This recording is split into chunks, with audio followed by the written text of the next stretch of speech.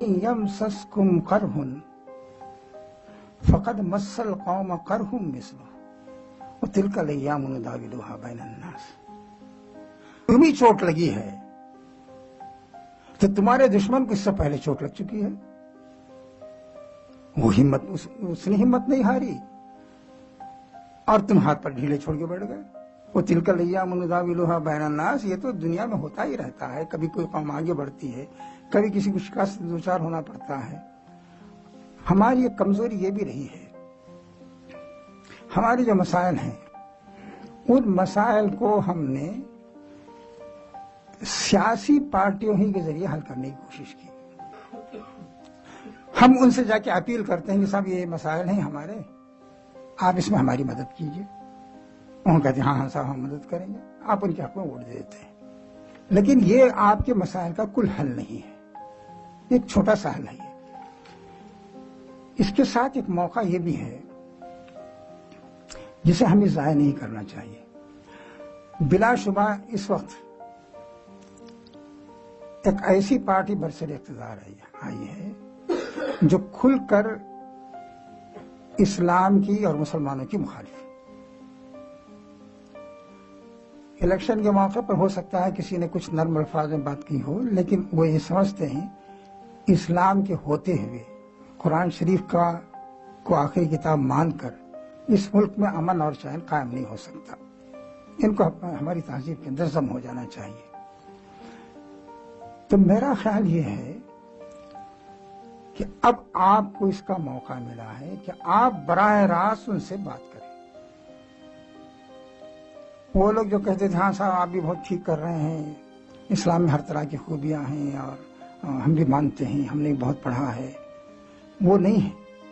بلکہ ایک ایسے گروپ سے آپ بات کریں گے جو یہ سمجھ رہا ہے کہ اسلام آپ ہندوستان کے لیے نقصان دہ ہے اور مسلمانوں کا وجود اپنی انفرادیت کے ساتھ نقصان دہ ہے۔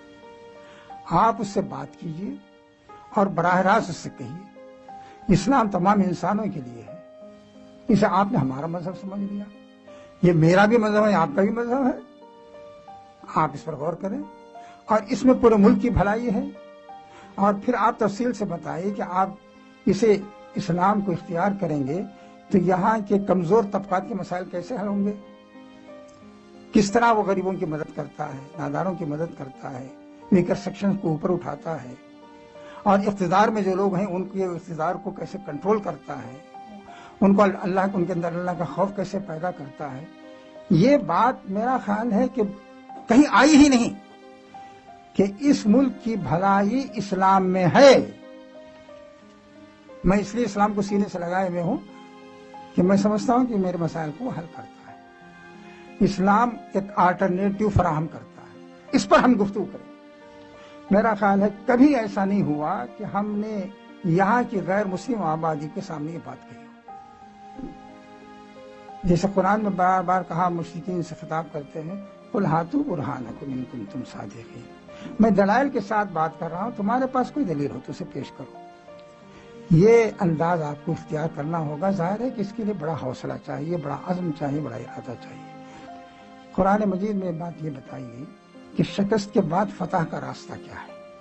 یا منس برو و سا برو ورا بتو وتق اللہ لعلکم تفلحون۔